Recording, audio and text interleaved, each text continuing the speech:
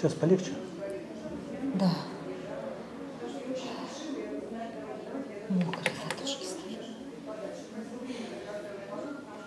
Я только дверь в поликлинику открыть, и прям чувствую, ну, прям нехорошо. Я зашла, вроде села сразу, чуть полегче стало, но я и пошла. Пошла, опять нехорошо.